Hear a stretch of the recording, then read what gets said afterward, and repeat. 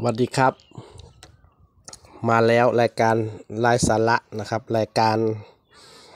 ที่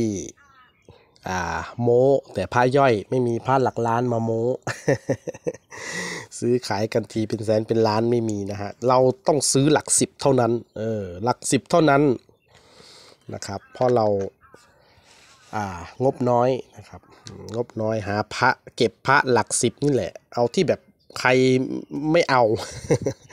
ใครไม่เอาผมเอานะครับ พระพิธีดีๆ แบบหลักสิบไม่ต้องถึงว่าหลักร้อยนะเออหลักร้อยพอหาพระที่แบบเออพออันนั้นอันนี้หน่อยเออแต่ว่าหลักสิบนี่เอาอยู่แล้วนะฮะเพราะว่าถูกแล้วก็พิธีดีนะฮะนะครับเอาไว้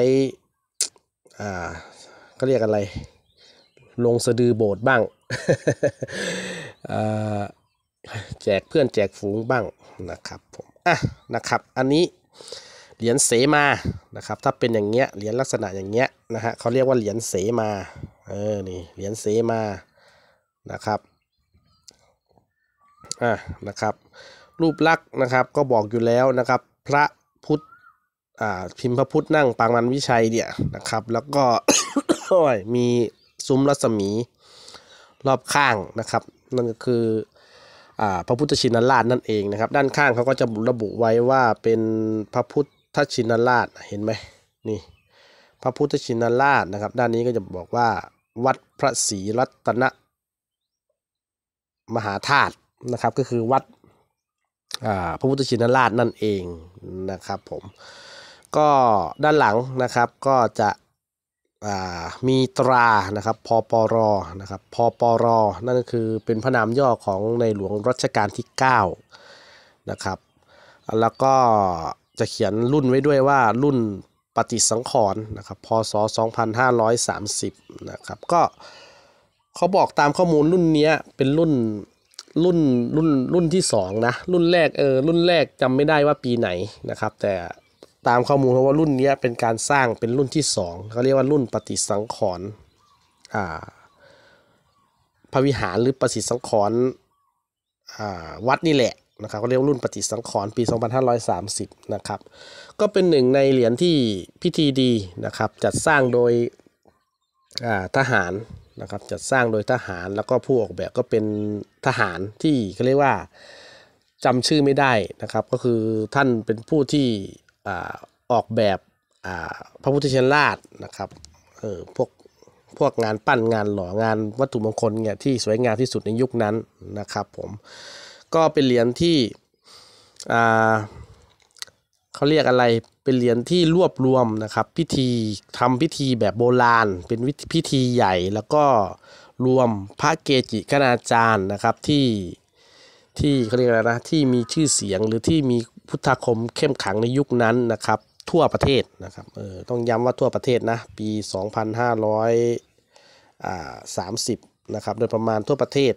นะครับ ผมแต่ว่าเนื่องด้วยว่านะครับใช้เขาเรียกนะนิมนต์พระมาเยอะมั้งเขาก็เลยไม่ได้ลงข้อมูลเจาะจงว่ามีเกจิคณาจารย์ท่านใดนะเข้าร่วมบ้างนะก็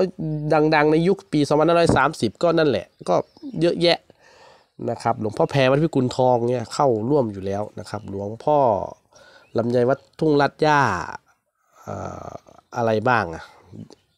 เอ่อสมเด็จยานสังวรอะไรอย่างเงี้ยนะครับ ก็ในยุคนั้นแหละมันเป็นพิธีหลวงนะครับ เป็นพิธีหลวงเป็นพิธีใหญ่นะครับ ก็ต้องมีพระที่เป็นสายวังก็ทั่วประเทศนั่นแหละไม่ว่าจะสายไหนหรอกที่ที่อันนั้นนะฮะที่เขาเรียกมีเขาเรียกมีชื่อเสียงหรือมีมีเขาเรียกมีมีลูกศิษย์ศรัทธาเยอะก็ หรือมีอ่าก็เรียกตามตามสายตามสายนิมนต์ตามสายกิจนิมนต์อะไรประมาณนั้นอะก็จะอ่าเข้าร่วมอยู่แล้วทั่วประเทศนะครับผมอะนะครับเหรียญก็เป็นเหรียญใบเสมานะครับเหรียญใบเสมาอ่าแบบนี้นะครับด้านหลังก็เป็นพอปรอนะครับอันนี้มีสีลุ้งติดมาด้วยนะครับ เนื่องด้วยว่า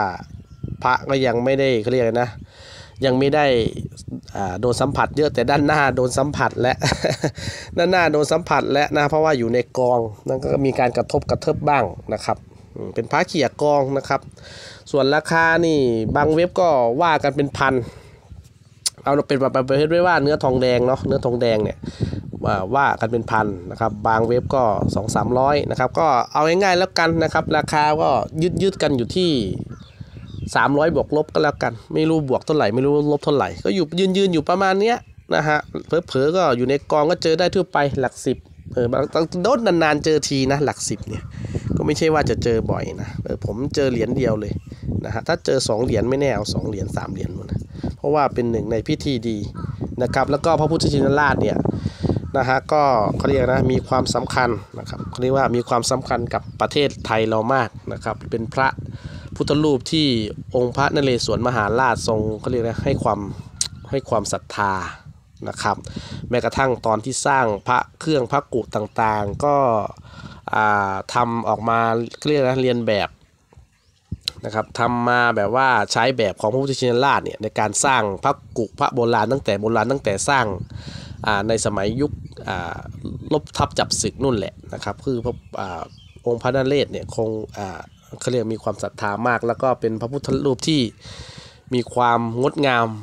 ที่สุดเขาบอกงดงามที่สุดในในโลกหรือเปล่าหรือในประเทศไทยหรือเปล่าอันนี้ไม่ทราบนะแต่ว่าตามวัดต่างๆที่จะมีอ่าพระพุทธรูปที่เป็นรูปหล่อพระพุทธชินราชเนี่ยนะฮะเขาไม่ให้มีนะถ้าจะมีก็ต้องไปขออนุญาตอันนี้ผมก็เพิ่งรู้เหมือนกันนะว่าจะสร้างเออต้องรู้รู้ตอนตอนข่าวตอนข่าวเลยนะที่อยู่ไอ้มุกดาหารนั่นแหละที่เขาเป็นข่าวเขาเอาพระพุทธชินราชไปวางอะไร ว่า การจับปั้นจะเอารูปหล่อพระพุทธชินราชไปประดิษฐานต้องขออนุญาตก่อนอะไรอย่างเงี้ย ไม่งั้นก็ต้องต้องมีเรียกอะไรต้องมีอ่าป้ายบอกว่าอันนี้คือพระพุทธชินราชจำลองอะไรประมาณนั้นนะก็ถือว่ามีความสำคัญมากนะครับ มีความสำคัญมากเลยในการอ่าจะสร้างเกี่ยวกับพระพุทธชินราช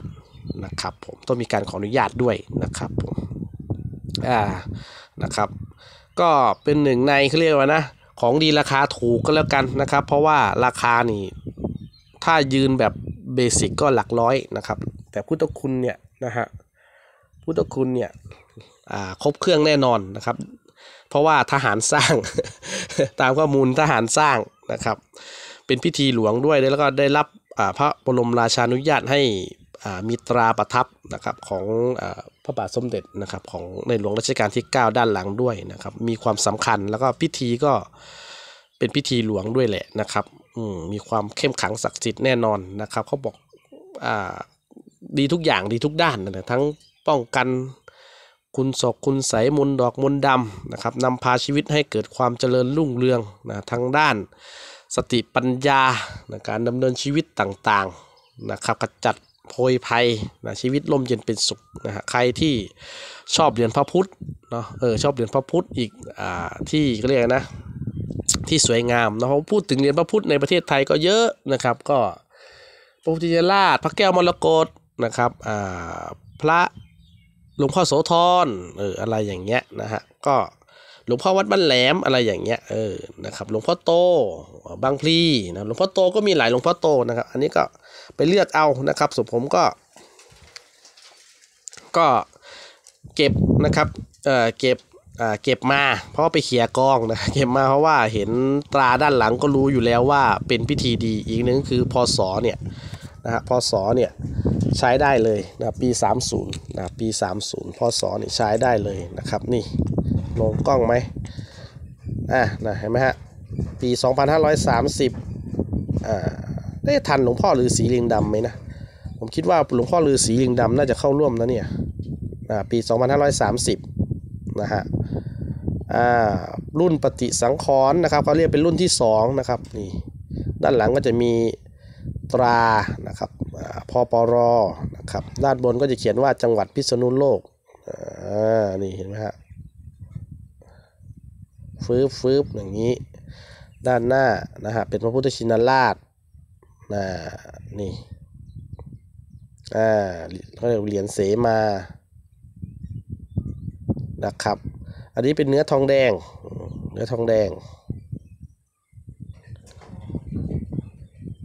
อ่า นะครับ นี่